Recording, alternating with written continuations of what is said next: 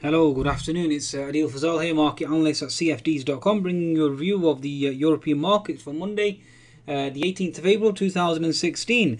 Be sure to visit CFDs.com for your trading needs. Also, download this new uh, app that's been launched by them uh, at uh, the Google Play and the Apple Store. you can certainly download it at www.tradesignaler.com, folks. Okay. And also, with regards to CFDs.com, be sure to visit the site uh, open a trading account and certainly uh, be uh, privileged with the 25% cash bonus offer, a very generous one that's, that's currently available for all new trading accounts. So those that are interested, certainly open an account, send me an email. I can get that applied for you. Okay, right. In terms of trading, uh, let's try and focus on that, folks, because that's what we do uh, for a living. Okay, so in terms of uh, the markets, let's see exactly where they're positioned at present.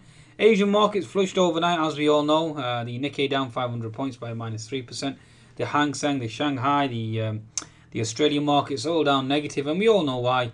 Uh, I think there's a joke this morning, there's a pun going around, much adoha about nothing. Okay, so much ado about nothing, or much adoha about nothing. So basically, doha meaning of over the weekend, certainly uh, a damp squib, uh, basically a failure uh, uh, and a disappointment given the fact that uh, obviously oil prices uh, or an agreement was uh, was not reached. And uh, if those of you that watch my videos, uh, you already knew from intermarket analysis perspective, given the fact that the USD CAD was into support, Aussie and Kiwi into resistance, FTSE into resistance, oil into resistance, etc., etc. Okay, so everything was already indicating that, uh, and given especially given the fact that we had the earthquakes. in Japan, unfortunately, several people have died, so prayers and thoughts go out to them. Also in Ecuador as well, I think the, the number, the death toll, I think it's exceeded 300 now. So certainly uh, prayers and thoughts go out to them as well, and may God give them patience in these trying times. Uh, again, it's a test from God, so please, uh, we pray that uh, God gives them patience uh, and endurance, uh, and may God raise their ranks. Okay, amongst those that are the patient. Okay, so now with regards to the um, the actual markets, again, Asian markets flushed overnight, so obviously a risk off tone. Uh, that obviously fed through into European session. Now, in terms of economic data out this morning, let's just go through that as well, which is important from my perspective, as always. Uh, fundamentals are very, very important, folks. Okay, so uh, inflation data out of New Zealand overnight has kept the uh, the Kiwi bid. Uh, so a rally in the Kiwi is certainly distorted to a large extent, so bear that in mind, uh, because it shrugged off the weaker oil price.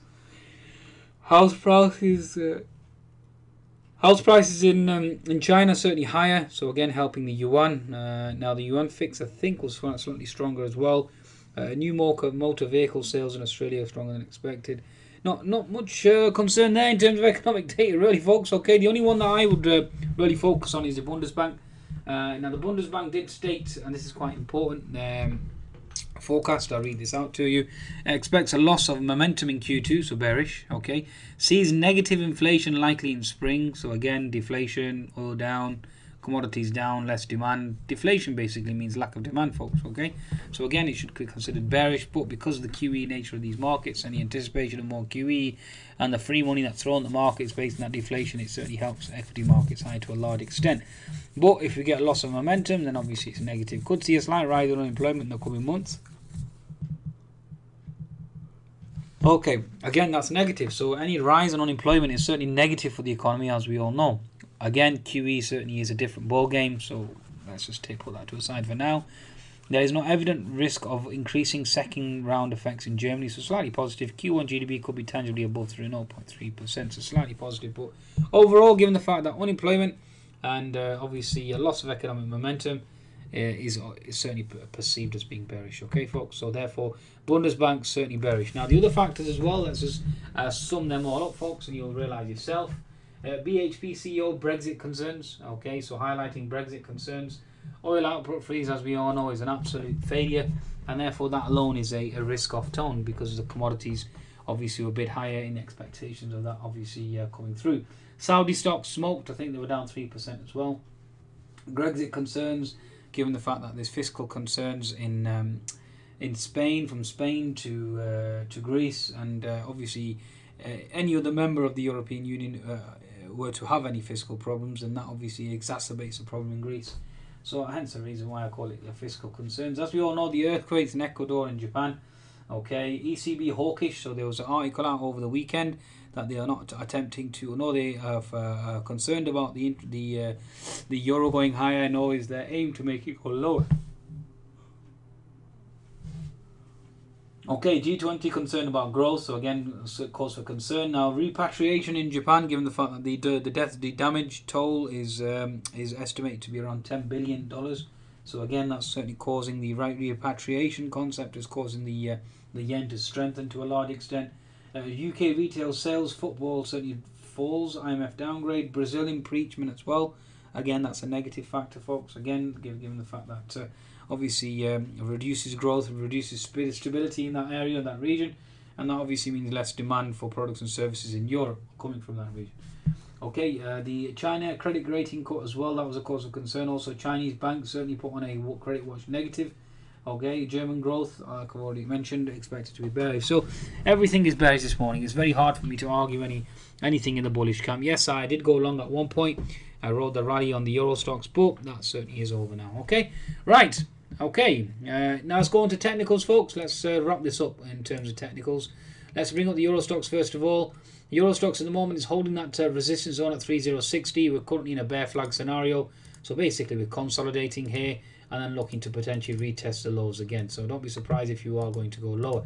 10 minutes on Euro Stoxx, again that unfilled gap will remain open, will not close due to the fact that, as we all know, due to the um, uh, OPEC concerns dominating, so therefore don't expect that gap to close and therefore we are looking to potentially go lower back down to that 3030 potentially 3015 level again on the euro stock. so that means it's negative for the uh, european indices especially given the fact that euro usd now is back above 1.3 now the german dax very impressive. Okay very very impressive compared to its uh, european peers. It actually closed a gap which is very impressive. Okay folks so not only did it close a gap it actually exceeded that as well. So very impressive but for now gap fill certainly will hold as resistance. Well, this is a prime example of why I do not trade the German DAX. It just it, there's no logic in it at all, and it, very rarely does it respect fundamentals. So, uh, from my perspective, German DAX, if you're a new trader, stay as far away as you can from that index. Trade the Euro Stoxx instead. You'll find that's more stable in terms of technicals and fundamentals, and that's why I trade the Euro Stoxx and the CAC. Okay, much more, much more calm.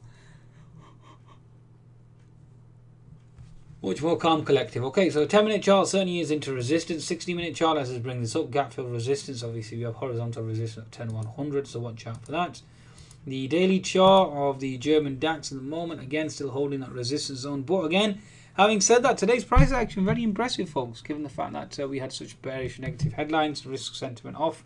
And uh, yeah, the German market certainly managed to recover. So that may well be the case with the Nasdaq as well. Okay, Right, uh, the French CAC now. Let's just bring up the CAC, CAC again, holding that resistance zone. Even with the euro at 1.13, it still isn't going into a risk-off mode.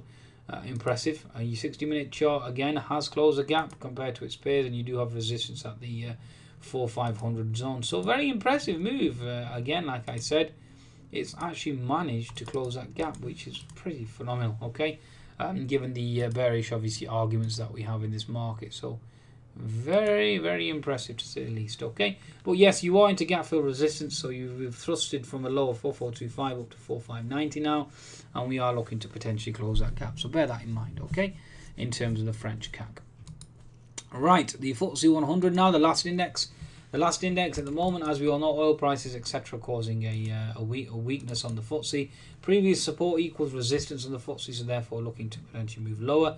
And looking to retest this diagonal trend line, although you do have a bottoming tail that certainly needs to be respected. Daily chart still holding that resistance on. Okay, looking at holding resistance. And the 10 minute chart has this diagonal trendline resistance. So again, looking to potentially flush. Now you are you you are creating this potential mini HNS. If I just bring up a five minute chart, and you certainly seem to be uh, potentially coming into fruition now. So your left shoulder is there, your head is there, and then your right shoulder there, and then obviously down you go. Okay, so that's basically where we stand in terms of the uh, the actual FTSE 100. Okay, so very very important watch out for that zone okay?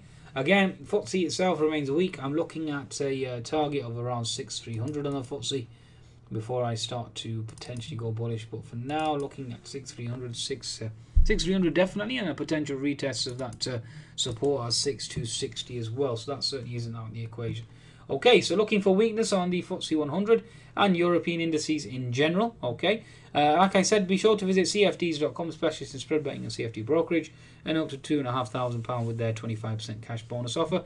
Terms and conditions apply. Goodbye now.